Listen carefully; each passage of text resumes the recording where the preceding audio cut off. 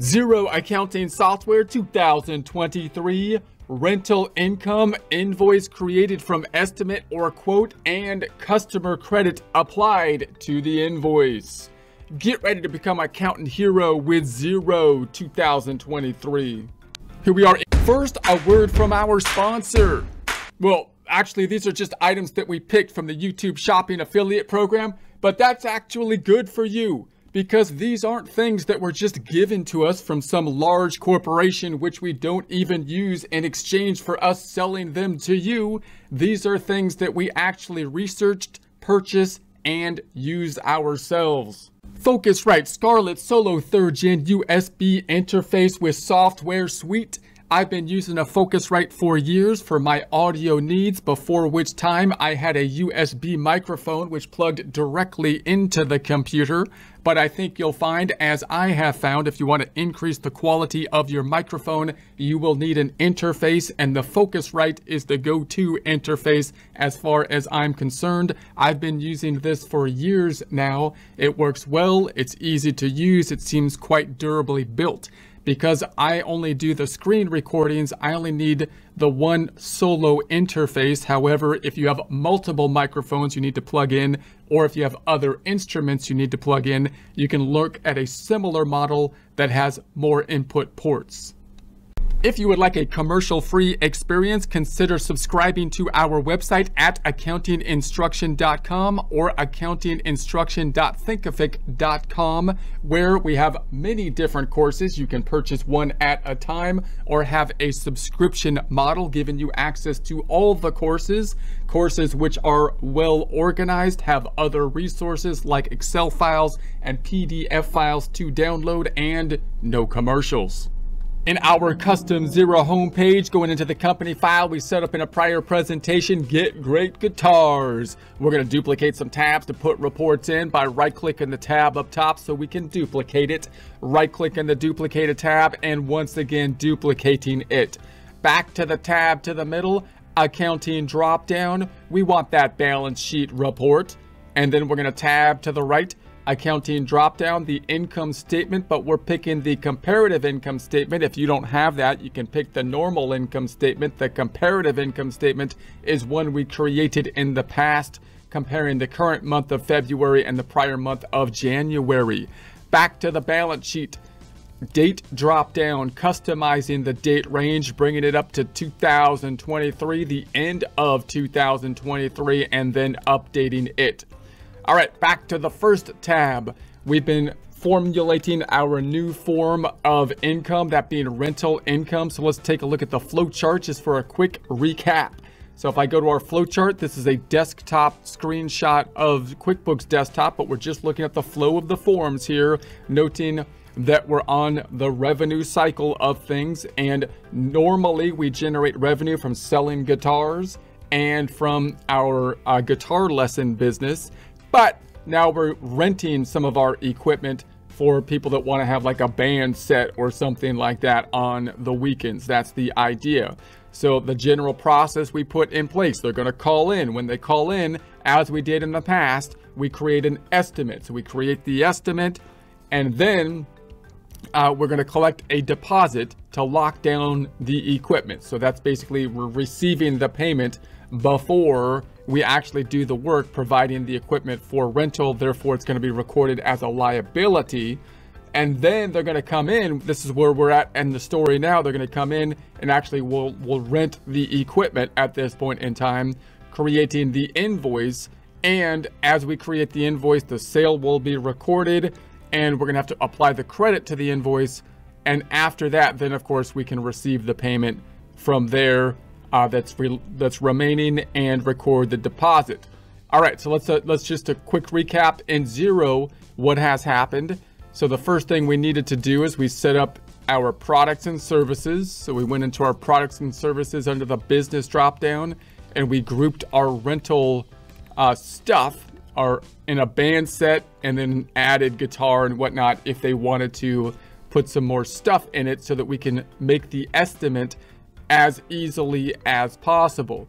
And then when we made the estimate uh, in the prior presentation, we can find that by going to the business dropdown and go into the quotes. quotes or estimate. Uh, same thing. And we're gonna we're gonna go into that and say the accepted ones. We had customer number 10 here uh, made this quote. So they have the quote that they made. If I go into the quote, this is what it was. So there it is. And so this didn't actually record anything. It's just a quote uh, that's not that we're going to track, but hasn't we haven't completed in essence the job, which in this case is the renting. So we would expect possibly to make an invoice from this quote when they come in. But before we did that, we collected a down payment so to lock them in, which we might in practice make based on the quote amount.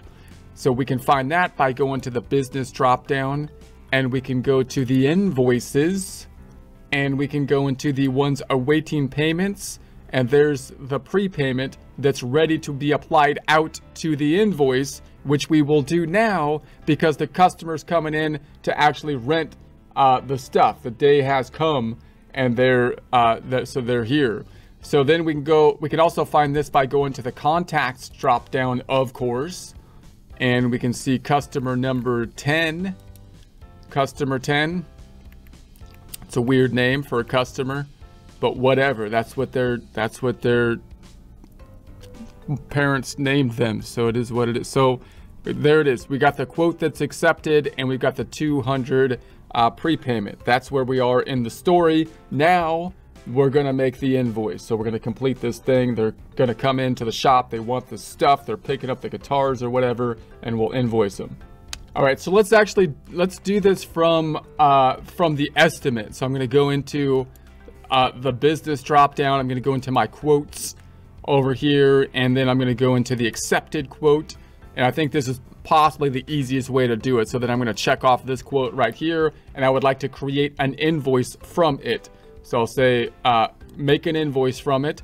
I want to mark it as invoiced. If I don't actually generate the invoice with the quote, then I could mark the the uh, the invoice as invoiced manually this way, just so I can pull it out of this area of the accepted area and put it over into the invoiced area. But I'm going to make the invoice from the quote, which is nice because that makes the data input uh, a little bit easier. So now we got customer number 10. We're going to make this Feb, let's make it Feb 28. So Feb 28. And uh, so there we have it. And it just pulls this information in from the estimate we put on the estimate.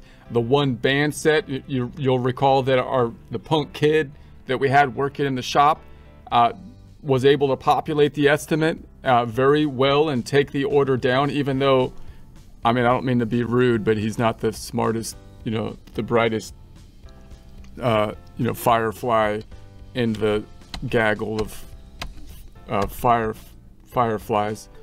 Uh, but we have the one, the band set, but he did a good job here. So, right, we got the band set, we've got the uh, added guitar and the added amp, and it pulls into our invoice. Now, note that we don't have the down payment yet being applied out here, but if I approve it, then I should get a pop-up saying, hey, there's a down payment that needs to be applied. So we're gonna be like, yeah, that's the total right there. Let me see if I can approve it and apply out the credit, which I know is there, so we can populate it. There it is. Customer 10 has 200 in outstanding credit. Would you like to allocate credit to this invoice? We're going to say, yes, we would like to do that. How much would you like to allocate? The whole $200, por favor, please.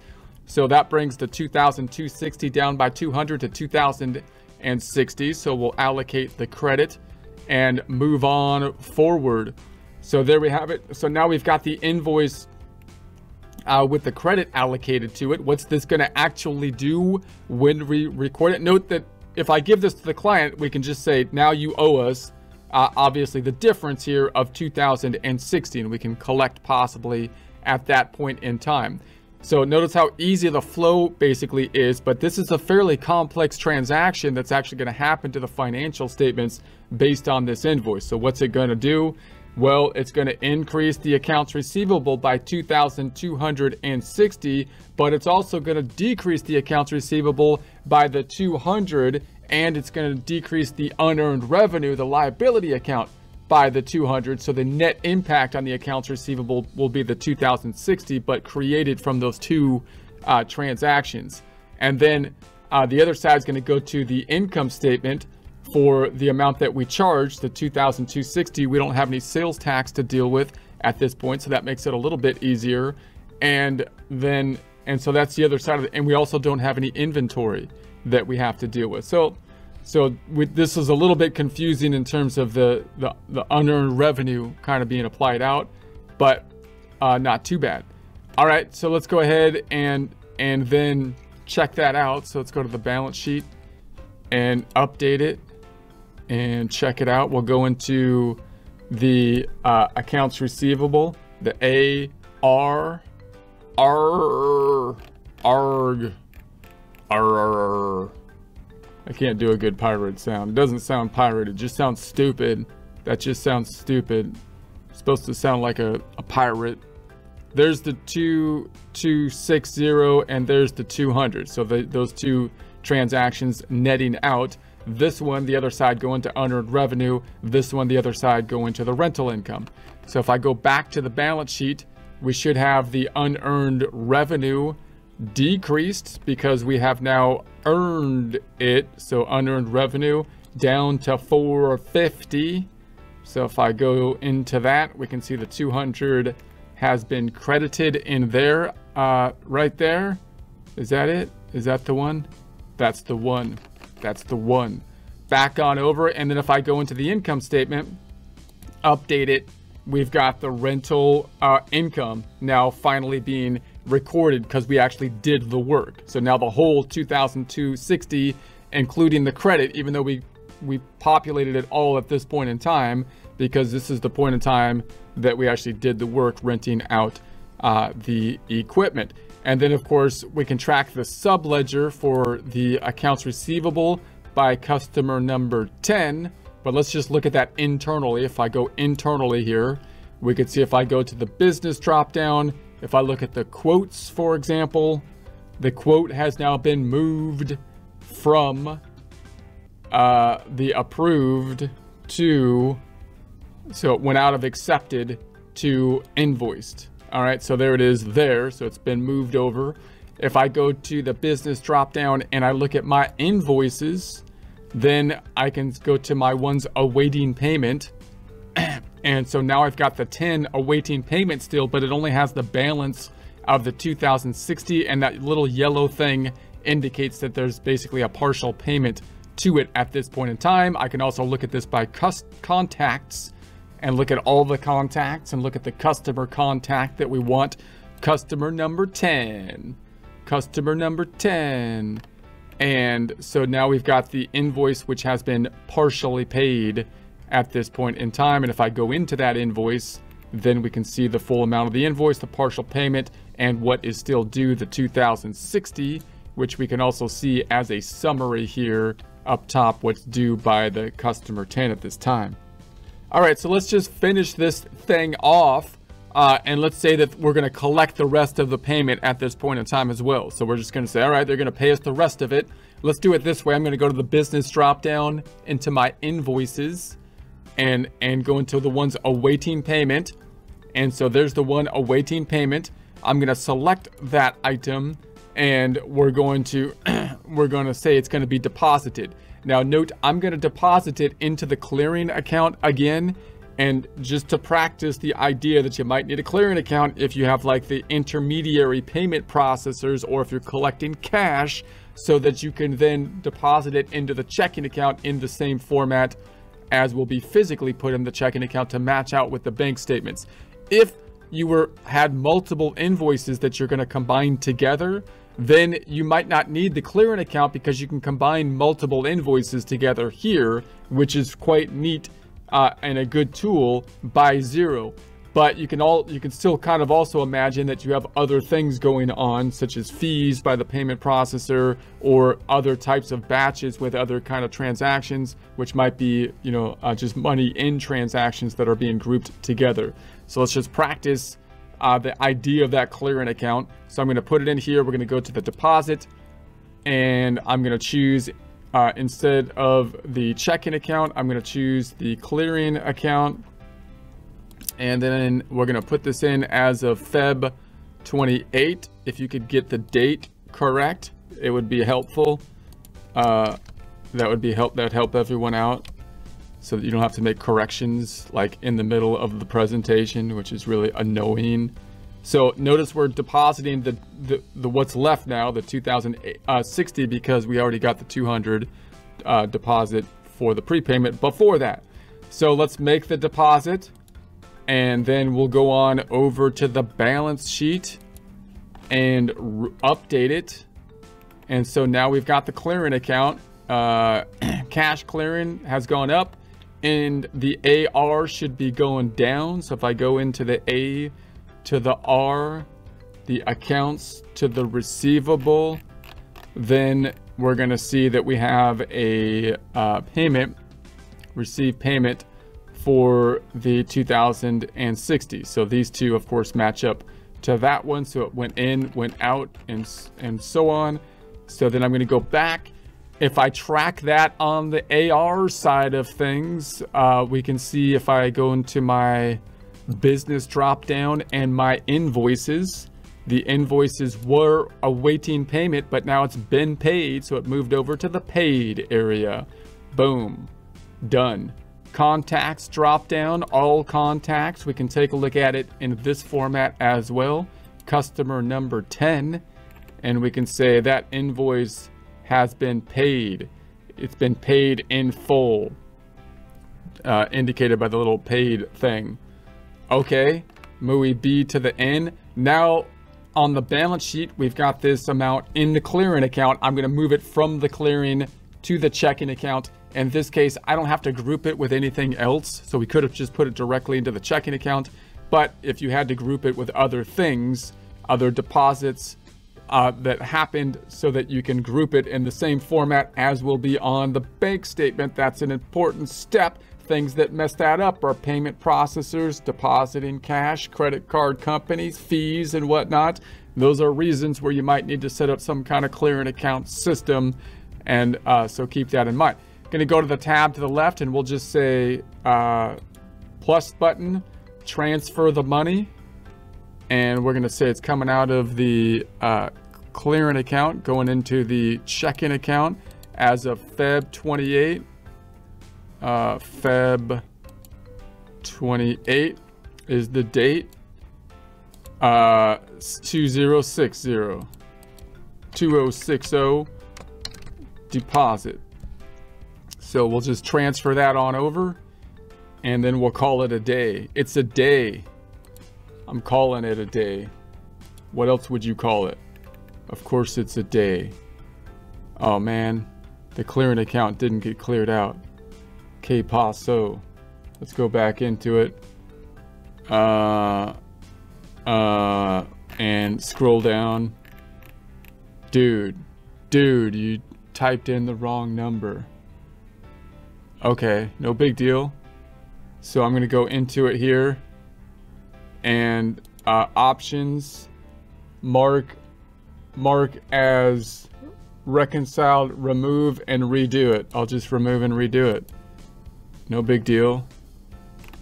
No big deal. Hit the drop down again. And then we're to say transfer.